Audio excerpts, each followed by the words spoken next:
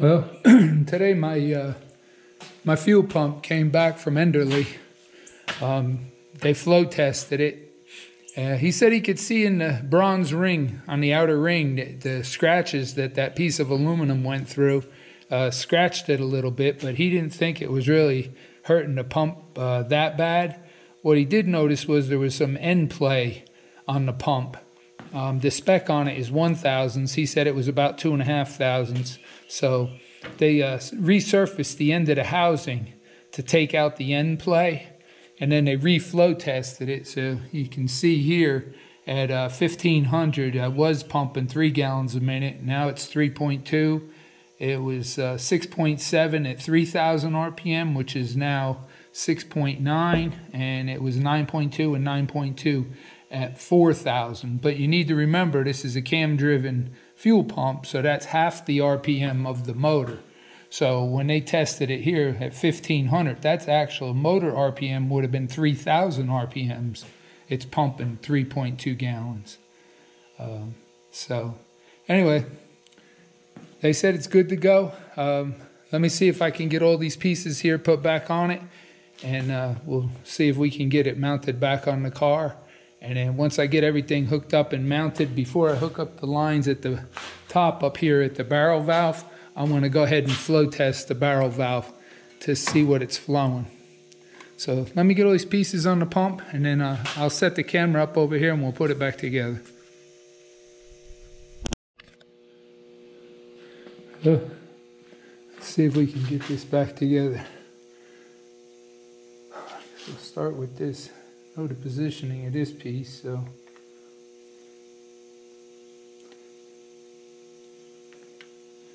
One thing nice about the uh, all these fittings on here, everything's got O-rings on it except for the AN. Of course, where the AN fittings go, they don't. But all of the fittings here on the pump, they're all all got O-rings on them. So you ain't got to worry about no problem with the thing sealing. Know it goes that way. Let me see what size is.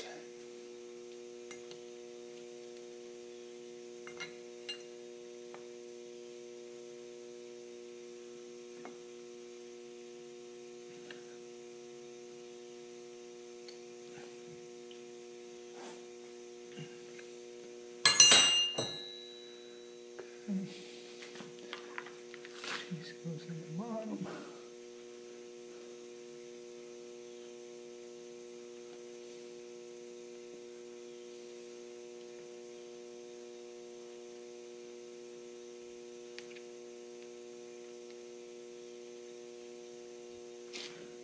That'll make another turn. uh, Maybe. Reach it.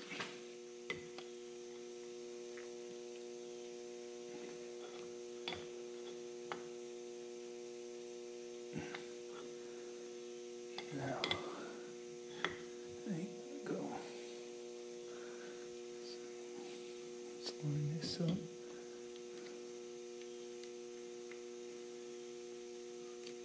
This.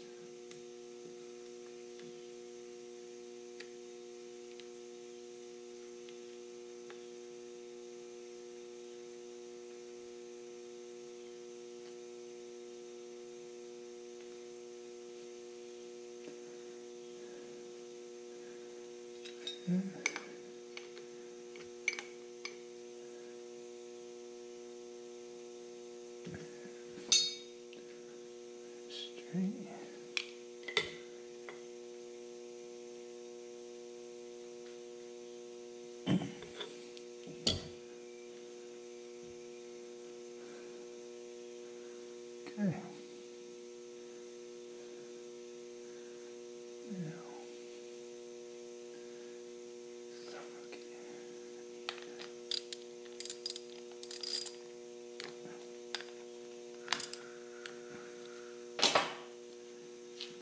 The bracket on for the fuel shut-off cable. And I think we're ready to put it back on.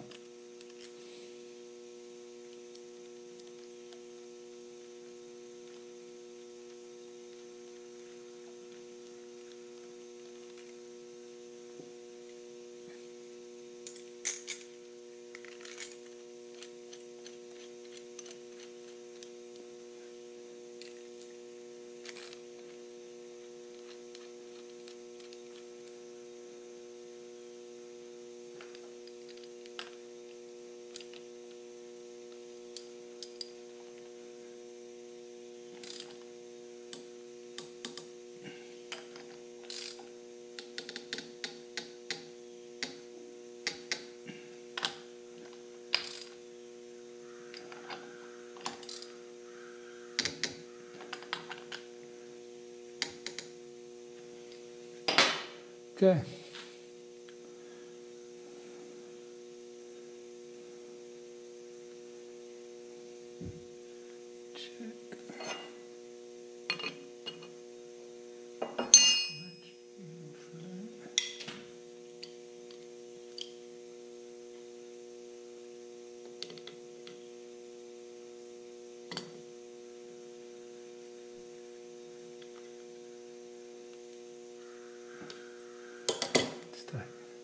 All right.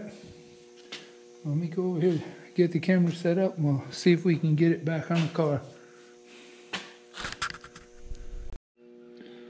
Uh, I tried setting up the tripod and it's hard to see, so I'm trying. I'm going to try to hold this with one hand and put this on with the other hand so you can see how it goes together.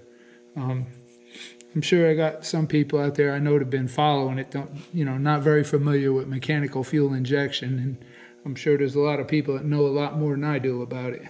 But you can see here on the end of the pump, uh, the hex on the end. Well, there's a shaft inside this extension piece right here, and it's got a female hex sticking out this side. It's got two sets of roller bearings here, and it's got another set of bearings here, and then it slides into a hex on the inside, the piece that mounts to the end of the camshaft. So you see here, this just slides into this uh, like that. And then there's two screws here that clamp this collar onto this neck right here is what holds it. So you'll see here, if I push it in, it stops right there, right? Then if I turn it a little bit, and go this way. There, the hex is lined up. Now you see it slides in right there. And then I could still turn it, but now the pump shaft is turning. You see what I'm saying? So pull it back out right here. Now it won't go in. So what I did is I measured from this groove right here to here, which is a half of an inch. Then I took the caliper and measured back on the female hex part, and it's 5 eighths of an inch deep. So this here, when this bottoms out right against here, I still have an eighth of an inch play because you don't want the pump tight up against the cam because the cam can move a little bit back and forth. So you have to have some play in there. So I'll turn it. There, you see right there, lined up, it went in. And then uh, I'll just turn it. I had the pump mounted where it was straight up. And I'll go ahead and tighten up these two screws. And we should be okay. I can go ahead and hook up the fuel feed line from the bottom right here. And uh, I'll hook the lines up going up to the top and the uh, throttle, I mean the fuel shutoff cable. And then I'll be good with this. I just got to work on the barrel valve. All right, let me get this tight and uh, be right back. Well, I went ahead and put the blower belt back on because uh, I need to put that on before I could hook up the fuel inlet line and the uh, fuel shutoff cable. I also connected all the lines up here for the return and the feed up to the barrel valve. Um, but before I test the barrel valve flow test that or set it up or get closer to starting it, I want to change the pill in here. Um, right now it's got 125 thousandths in it, and uh, I'm going to up it up to uh, 130 thousandths uh, it'll send a little more fuel back to the pump instead of in the motor, and uh, hopefully that'll help lean it out a little bit. So let me get the camera set up and I'll change this pill real quick, show you what that looks like.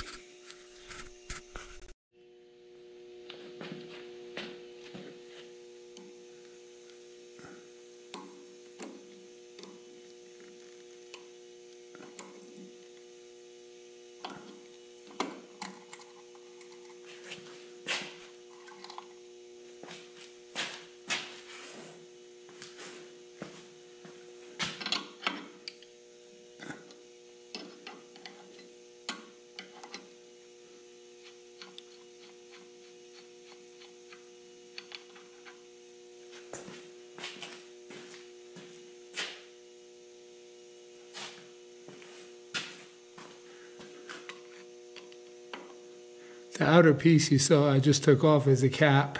It's got an O-ring seal on it. And, uh, it just caps this off, but here's the jet itself.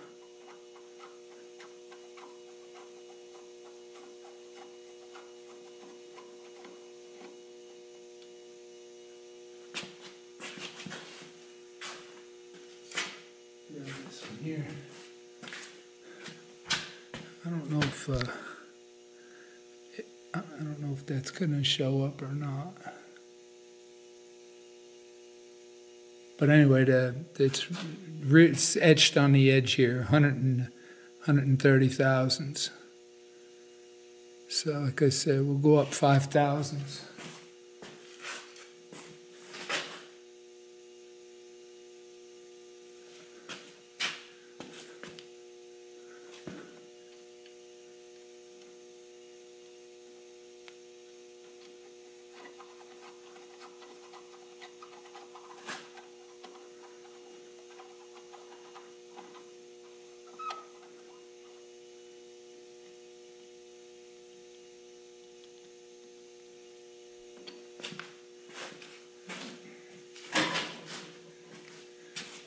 You see here, this piece, you can see it's just a plug. It's got an O-ring on it.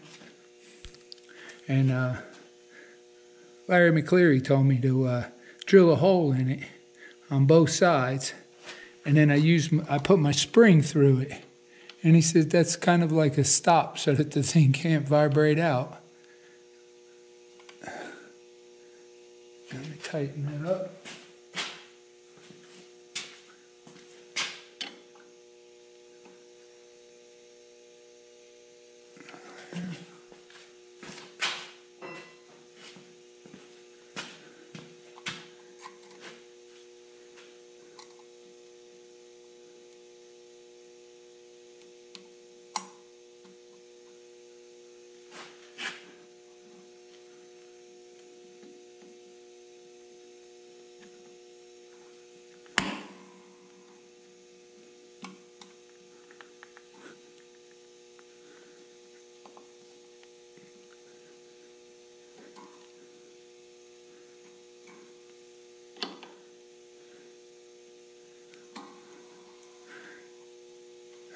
That'll work. Spring is good. All right, well, let me get the gauges set up and we'll flow the barrel valve, see where it's set at. And uh, I'll check the gaps on the butterfly and hopefully we'll try to get it started. Well, I'm gonna go ahead and um, we'll set the gap on the butterflies uh, first. And uh, I got this set up over here so you can see this. Uh, this is a piece of uh, 14 gauge wire, stranded, copper stranded wire. And if you can see my caliper, right? If you measure this piece, a single strand of wire is 13 thousandths on a single strand. Now they're calling for between eight to um, 10 thousandths gap on the butterfly. This wire here is, if you can see it, is a piece of 13 thousandths, right? Just to give you an idea, if I open this, stick that wire in there.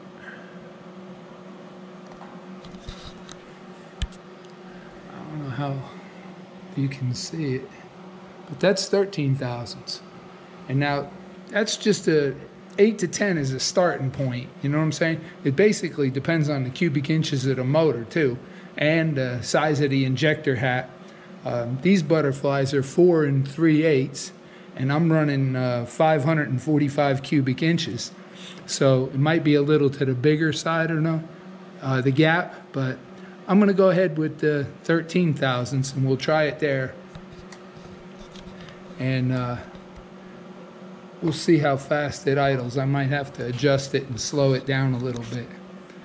Next thing I got to do is uh, I'm going to try to flow test this uh, leak down test, the barrel valve. So let me get that set up and uh, I'll show you that. Well, I went ahead and tried to make my own leak down tester and it didn't work. and uh, I couldn't figure out why it didn't work. So uh, I called the people out at Good Vibrations Motorsports out in California. Um, super nice people, super friendly. And uh, I told him what I did and how I made, you know, and then he says, he says, well, it won't work. And I said, well, why is that? And he says, because the leak down detect- tester has an orifice built into it on the outlet side of the regulator. So somewhere coming out of the regulator here before the quick dis- the coupling to unhook it, there's an orifice. He says he thinks it was around 40 thousandths of an inch diameter, but it's a they're all set at the same and calculated the same way. And he says that that's what you need to leak down the test of barrel valve. So my my setup didn't work, so I had to go ahead and order one. And he said it'll be here in a couple days. But in the meantime, I'm really close and I'm wanting to get it started. So I think what I'm going to do is turn the fuel down on the barrel valve to start out with. It might not stay running, and I might have to adjust it a couple times and then just go from there because the leak down test is just to get you close. You, you can't really tune it just with the leak down tester, you know.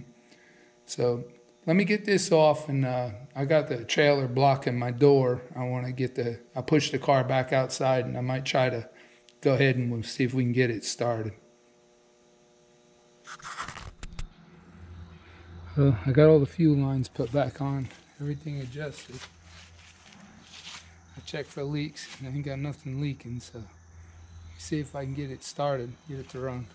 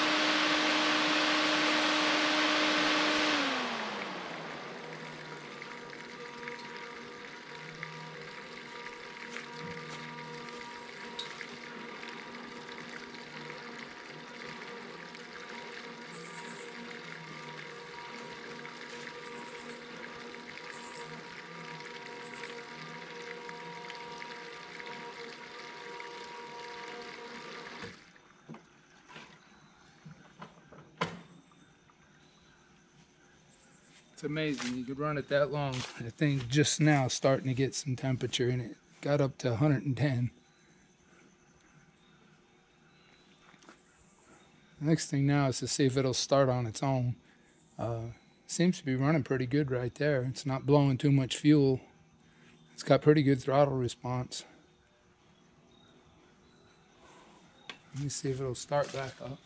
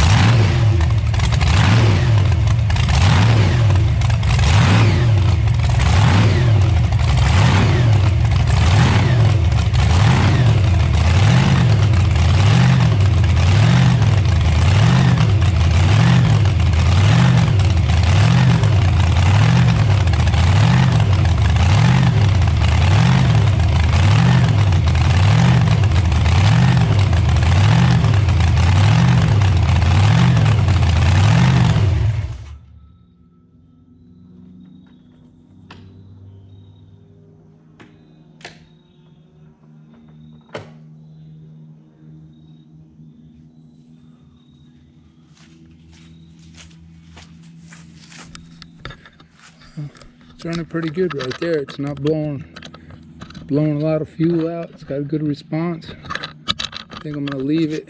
Uh, calling for a chance of rain today. I don't know if you can see in this video how cloudy it is. Worried that I'm gonna get caught in the rain, but